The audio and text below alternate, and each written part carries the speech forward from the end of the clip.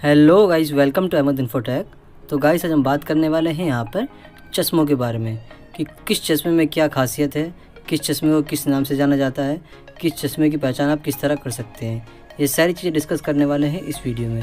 तो इस वीडियो को लास्ट से देखिएगा और आइए देखते हैं क्या क्या इन्फॉर्मेशन हमारे पास आज आपके लिए। तो जैसा कि आप स्क्रीन पर देख ही सकते हैं यहाँ पर यहाँ पर आपको तीन कलर दिख रहे हैं। एक है आपका ग्रीन एक है ऑरेंज एक है ब्लू अगर हम बात करते हैं यहाँ पे ग्रीन की तो ग्रीन होता है आपका आई साइज़। और अगर हम बात करते हैं यहाँ पे ब्लू ऑरेंज वाले की तो ऑरेंज जैसा कि आप देख सकते हैं पिक्चर में कि यहाँ पे आपका ब्रिज साइज़ है और ये साइड का है टेंपल साइज़, जो आपका ब्लू में लिखा हुआ है। तो ये तीनों नंबर आप देखे होगा कि आपके जो टेंपल होता है, वहाँ पर अंदर के साइड में लिखा रहता है ये। तीनों नंबर अंदर के साइड में ही लिखे रहते हैं। और जैसा कि आप देख सकते हैं यहाँ पर अब, यहाँ पे आपके पूरे चश्मे के पार्ट्स के नेम हैं। तो यहाँ पे आप देख सकते हैं लेंस को क्या कहते हैं लेंस कहाँ पर होता है आपका? और आपका नोज़ पैड कहाँ पर होता है? आपका रिम क्या होता है? स्क्रू क्या होता है? टेंपल टिप क्या होती है? ठीक है, यहाँ पे सारी चीज़ आपकी दर्शा रखी हैं। तो इसको आप एक जगह नोट डाउन कर लीजिए तो आपका बेटर रहेगा, क्योंकि तो आपके आगे चल के काम आती रहती है। इसमें काफ़ी तरह के हैं, बाकी आप देखेंगे तो गूगल पे भी सर्च कर सकते हैं। ये आपको वहाँ पे मिल जाएगी। और आपके कॉपी में या अपने किसी नोट पैड में इसको नोट कर लीजिए। ये अच्छा रहता है। तो आइए चलते हैं आगे अपने मेन काम की तरफ़ कि कौन सा फ्रेम क्या है और उसका क्या नाम होता है। तो सबसे पहले फ्रेम की बात करते हैं अगर हम यहाँ पे। तो सबसे पहले फ्रेम जो आता है हमारे पास, आता है ये ये आता है कार्बन फ्रेम कार्बन फ्रेम कुछ इस तरह का दिखता है, ये आपने अपने दादी को, दादा को, किसी को लगा के हुए देखा होगा। इस साइड में ये स्प्रिंग है इसके, जिसको हम बॉक्स स्प्रिंग भी कहते हैं। ये आपको देखने में अच्छा नहीं लग रहा होगा चाहे, लेकिन ये काफ़ी टिकाऊ होता है। इसको हम कार्बन फ्रेम इसीलिए कहते हैं। क्योंकि कार्बन के बाउंड अच्छे होते हैं, ये आपने अपने ट्वेल्थ में एलेवंथ में पढ़ा भी होगा। तो ये काफ़ी अच्छा फ्रेम है। इसको आप जैसे जैसे आपकी दादी हैं, दादा हैं, उनको पहले के टाइम पे लगाए हुए भी देखा होगा। और हो सकता है अभी अब, जब भी आप गाँव जाते हो तो गाँव में विलेज एरिया में सबसे ज़्यादा फ्रेम ये सब चलते हैं। ये सब फ्रेम काफ़ी ज़्यादा चलते हैं। अब हम बात करते हैं दूसरे फ्रेम की अपने। जो हमारे पास दूसरा फ्रेम आता है, इसको हम पॉलीमाइड के नाम से जानते हैं। इसको हम पॉलीमाइड फ्रेम कहते हैं। ये देखिए, इसको भी आपने काफ़ी लोगों को लगाए हुए देखा होगा, अपने दादा को, दादी को। तो ये जो स्टिक है, ये पतली है तो इसको हम पतली स्टिक वाला कह सकते हैं। कह सकते क्या है कहते ही हैं। और इसमें देख रहे हैं आप साइड में इसमें भी स्प्रिंग लगी हुई है। लेकिन इसमें जो स्प्रिंग है, उसमें इनबिल्ड है, अंदर के साइड से स्प्रिंग उसमें बाहर के साइड से थी, उसे बॉक्स स्प्रिंग कह रहे थे, ये अंदर के साइड से स्प्रिंग है।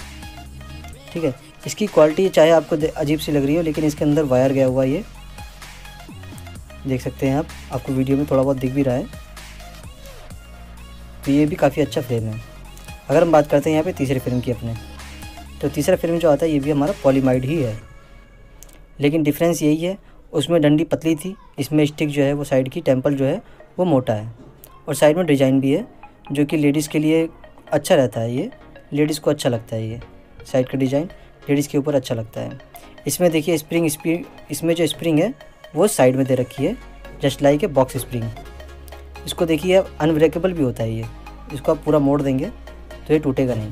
ये देखिए। अब ये मोड़ के दिखाते हैं आपको। ये यहाँ से हम मोड़ देते हैं इसको। ये देखिए। आपको कहीं से भी ये टूटने की कंप्लेंट नहीं आती है इन फ्रेमों में। हाँ ये फ्रेम सस्ते भी आते हैं। और ये टिकाऊ भी होते हैं, अच्छे भी होते हैं। और ये टूटते नहीं जल्दी, जैसे कि आपने अभी देख ही लिया डेमो। अगर हम बात करते हैं नेक्स्ट फ्रेम के बारे में, जो कि हमारा दूसरा अगला फ्रेम आता है यहाँ पर। इसको कहते हैं टी आर फ्रेम। ठीक है? इसमें देख सकते हैं आप, साइड में भी इसमें भी स्प्रिंग लगी हुई है। ये साइड में देखिए, स्प्रिंग लगी हुई है यहाँ पर। देखिए। काफ़ी अच्छी क्वालिटी है ये भी। बहुत अच्छी नहीं कह सकते हैं इसको, लेकिन नॉर्मल क्वालिटी हम कह सकते हैं इसको। बहुत अच्छी क्वालिटी नहीं है ये, लेकिन हाँ टिकाऊ है, चल जाएगी आपकी। साल भर छः महीने। इस साइड में देख सकते हैं लोगो भी लगा हुआ है यहाँ पर। अगर हम बात करते हैं अगले फ्रेम के बारे में तो अगला फ्रेम हमारा आता है यहाँ पर। इसको हम कहते हैं वाइट स्प्रिंग इसको सुपरा भी कह सकते हैं, क्योंकि नीचे इसमें फुल फ्रेम नहीं है ये, नीचे वायर डली हुई है तो इसको हम सुपरा भी कह सकते हैं।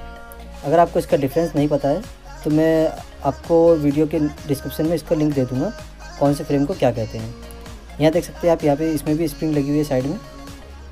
और यहाँ पे देखिए, पहचानना क्या किस तरह इसको, कि वाइट स्प्रिंग है कि नहीं है, ये देखिए। यहाँ पे आपको एक सिल्वर कलर की स्प्रिंग दिख रही है, निकली हुई थोड़ी सी। तो इसी तरीके से आप पहचान सकते हैं इसको, कि वाइट स्प्रिंग है या नहीं है। और ये देखिए, ये नोज़ पैड जो है, ये ये सिलिकॉन नहीं है। सिलिकॉन नोज़ पैड में और इसमें क्या डिफरेंस होता है? सिलिकॉन नोज़ पैड जो होता है, वो मुड़ जाता है। तो आपके नाक पे निशान जल्दी नहीं आता है। नोज़ पे जो आपके निशान आ जाता है, वो जल्दी नहीं आता है। लेकिन इस नोज़ पैड में क्या होता है कि ये नोज़ पैड मुड़ते नहीं हैं। इसीलिए आपके नाक पे निशान जल्दी आ जाता है।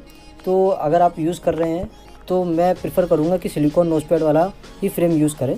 या उनसे जब भी आप किसी भी दुकानदार से लें तो उनको बोल दें, सर, हमें इसमें सिलिकॉन नोज़ पैड लगा दें, ताकि हमारे नाक पे निशान ना आए।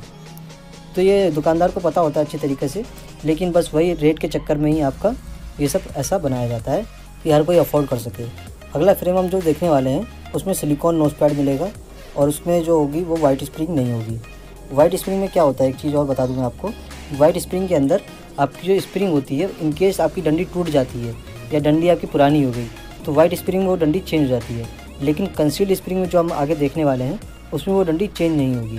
तो ये भी एक अच्छी चीज़ है वाइट स्प्रिंग के अंदर कि अगर आपका फ्रंट ठीक है, आपको डंडी डंडी चेंज करवानी है तो आपकी खाई डंडी डंडी चेंज हो जाएगी। लेकिन कंसील्ड स्प्रिंग जो आगे देखने वाले हैं आप, उसमें डंडी आपकी चेंज नहीं होती है। अब हम बात करते हैं यहाँ पर कंसील्ड फ्रेम के बारे में। जैसे कि आप मेरे हाथ में देख सकते हैं, ये सुपरा फ्रेम है, लेकिन ये कंसील्ड फ्रेम है। और इसको हम के कह सकते हैं, जो कि आपका प्रोग्रेसिव के लिए या बाईफोकल के लिए यूज़ होती है। ये देख सकते हैं यहाँ पर या इसके अंदर एक वायर पड़ी हुई है साइड की डंडी के अंदर। लेकिन ये कंसील्ड फ्रेम है, इसलिए ये वायर चेंज नहीं हो सकती है। अगर ये फ्रेम में कुछ भी होता है, डंडी ख़राब हो जाती है, डंडी की पॉलिश चली जाती है तो ये आपको पूरा फ्रेम ही चेंज करना पड़ेगा, ये आपकी साइड की डंडी चेंज नहीं हो सकती है। और ये देख सकते हैं फ्रंट पे आपकी डमी है जो डमी पे पूरा साइज़ लिखा हुआ है, ये क्या साइज़ है इसका? और कितने, जो भी मॉडल नंबर है, सब कुछ लिखा हुआ है यहाँ पर। अब हम बात करते हैं यहाँ पे नोज़ पैड के बारे में। तो देखिए यहाँ पर, ये नोज़ पैड मुड़ जा रहा है। ये देख सकते हैं आप यहाँ पर फ़ोटो में। ये देखिए। तो जो नोज़ पैड मुड़ जाते हैं, उनको हम सिलिकॉन नोज़ पैड कहते हैं। ये देखिए, आराम से मुड़ जा रहा है ये। तो ये आपके नाक पर दबाव नहीं बनाते हैं, जिससे कि आपके नाक पर दाग नहीं आता है। वहीं अगर हम वाइट स्प्रिंग वाले फ्रेम यूज़ करते हैं तो उसमें जैसे कि आपने पीछे भी देखा लास्ट हमारा जो फ्रेम था उसमें, कि उसके साइड का जो नोज़ पैड था, वो नोज़ पैड मुड़ नहीं रहा था। तो मतलब वो फ्लेक्सिबल नहीं था और ये फ्लेक्सिबल है। इसलिए यही डिफरेंस है कि इसकी कॉस्टिंग ज़्यादा होती है, उसकी कॉस्टिंग कम होती है। अगर हम बात करते हैं यहाँ पे कंसील्ड के बारे में, कि कंसील्ड है या नहीं है, ये आप कैसे पहचानेंगे? तो जैसे कि आप वीडियो में देख सकते हैं यहाँ पर, कि यहाँ पर आपको एक गोल्डन कलर की वायर दिख रही है इसके अंदर जाते हुए।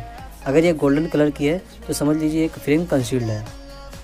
और अगर गोल्डन कलर की नहीं है, सिल्वर कलर की है तो समझ लीजिए वो फ्रेम कंसील्ड नहीं है, वो वो फ्रेम जो है, वो वाइट स्प्रिंग है। इस तरह से आप समझ सकते हैं इसको।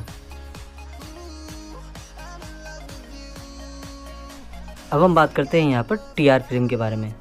तो टी आर फ्रेम में देखिए, जैसे कि आप देख सकते हैं स्क्रीन पर, कि यहाँ पे साइड में स्प्रिंग भी है इसमें। अब इसको मोड़ के देखते हैं कि ये टी आर है या नहीं है। ये देखिए, पूरा मुड़ जा रहा है तो ये अच्छी क्वालिटी का टी आर भी है ये। ये देख सकते हैं, ये पूरा मुड़ जा रहा है फ्रेम। कहीं से भी मोड़ दीजिए, कोई दिक्कत नहीं आ रही है। तो ये होते हैं आपका टी आर फ्रेम। ये अच्छे होते हैं, कॉस्टिंग भी इसकी कम है, क्योंकि ये ज़्यादा अच्छे क्वालिटी का नहीं है और ज़्यादा बेकार क्वालिटी का भी नहीं है। क्योंकि ये आप देख सकते हैं कहीं से भी मोड़ लीजिए, ये ब्रेक नहीं हो रहा है।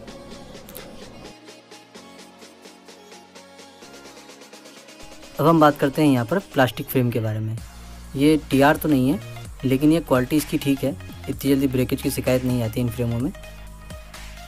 इसमें देखेंगे आप साइड में स्प्रिंग भी नहीं है इसमें। अभी मैं आपको दिखाता हूँ। ये देखिए साइड में इसमें स्प्रिंग नहीं है। इसको हम कब्जा कहते हैं, कब्जे वाला फ्रेम ये देख सकते हैं यहाँ पर। स्प्रिंग आपने देखी ली स्प्रिंग किस तरह होती है, और ये आपका कब्जे वाला फ्रेम है ये। तो इसकी टूटने की शिकायत इतनी जल्दी नहीं आती है, लेकिन हाँ ये टूट सकता है। ये टी आर जैसी क्वालिटी नहीं है तो ये टूट सकता है।